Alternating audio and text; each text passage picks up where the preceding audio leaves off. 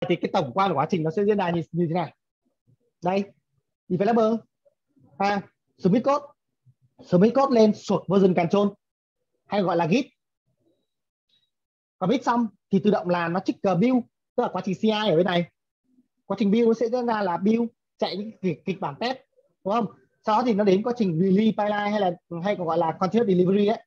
Thì nó sẽ tiến hành là create ta create nếu như mà chưa có môi trường dev môi trường staging chẳng hạn thì nó sẽ tiến hành là tự động create cho mình. Sau đó create xong thì nó deploy. À, và nó chạy những cái kịch bản async test sau này nữa.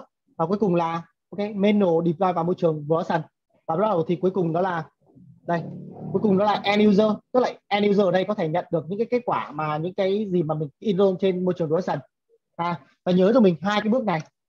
Automate on demand tức là chạy độc lập với nhau. À, anh có thể automate hoàn toàn còn khi nào tôi muốn bên này tôi chạy thoải mái. À, đó là như vậy. À, thì tổng quan lại hai cái CD à, CD, CD principle nó sẽ như sau nó có những cái principle như này. Đầu tiên bắt buộc phải có CI không có CI đừng có nghĩ đến CD à, là cái đầu tiên. Cái tiếp nữa đó là development và operation nên làm việc cùng với nhau một cách hiệu quả. Tức là ok develop thoải mái bởi vì CI đã có rồi ha operation cũng vậy operation cũng đã xây dựng được cái CD nên là hai cái này có thể kết hợp lại làm việc thoải mái không giống như ngày xưa. Ha. trong cái thời gian development thì gần như là operation ngồi chơi không có cái gì để làm. À còn khi mà cái bạn integration tức là cái bạn developer ấy, bạn đang release một cái gì đó bạn đang gửi cho bạn developer một cả cho cái bạn iteration hay là operation engineer một cái gì đó thì lúc này engineer bắt đầu operation hay integration lại bắt đầu lo lắng là bên kia ngồi chơi đợi bởi vì là chưa biết là deploy lên nó có bị lỗi hay không. Nên là phải mời ngồi đội đợi bên này. Nhưng khi mà xây dựng CI/CD ấy, thì hai người này có thể làm việc cùng với nhau. À ok submit code đi. Submit code cái build cái lỗi liền. À, nếu mà nếu mà pass đúng không? Ok thì pass thì nó sẽ nhảy sang bên quá trình uh, release thôi. À, đó là cái tiếp theo. Rồi tiếp nữa đó là thay đổi cái cách để mình hiểu về cái infrastructure. Infrastructure dưới trước đây ấy, nó là những cái gì đó mà mình nhìn thấy mình làm bằng tay nhưng bây giờ ha infrastructure cũng là một cái sụp code. Con server bây giờ cũng nằm là một cái cái repository code. Cái network cũng là một cái security code à repository code. Và thậm chí là cái cái cấu hình bên trong service chạy như thế nào cũng là code hết. À, à chúng ta thay đổi cái cơ chế trước đây. Đó. và cái quá trình mà chúng ta create những môi trường ví dụ như install server À, uh, bring up server rồi chọn các mạng chọn uh, memory CPU rồi install những cái service bên trong. Tất cả mọi thứ chúng ta làm bằng code và chúng ta có thể automation nó. Quan trọng nhất là automation nha. À. Rồi chúng ta có thể automation chạy đến những kịch bản test à, user acceptance test.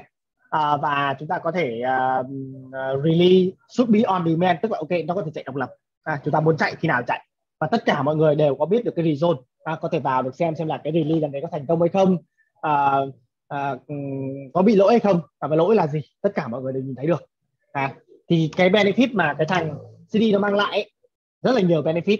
À, rất là nhiều benefit. Mình có thể kể qua đây một vài benefit. Đầu tiên đó là quá trình release nó đã mất ít cái cái công sức hơn. Ít mất công sức hơn. À, và chúng ta release được nhiều hơn. À, release được nhiều hơn. À, release nhiều hơn và chúng ta nhận lại là cái gì? Đó là cái reliable. Tức là cái độ tin tưởng à, khi mà lần release ngày xưa ấy, nó hên xui. Thì bây giờ chúng ta đã nắm chắc được cái kết quả. Chúng ta biết là nó thành công. À, và chúng ta có thể chạy liên tục.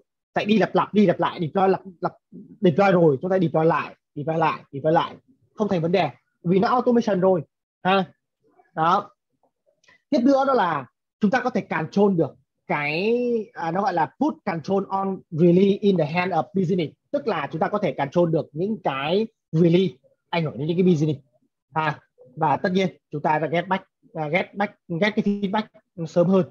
À, đó là cái lợi thế mà cái thằng CI nó mang lại. Và tất nhiên à, quên từ CD và cuối cùng CD nó cũng sẽ bốn theo bốn cái Accommodate này. Tức là tăng được cái high quality tăng được cái thời gian lower được cái code và tạo ra thêm được cái flexibility. À, đó là cái giá trị mà CI/CD nó mang lại. Đấy mọi người cần phải nhớ. Ha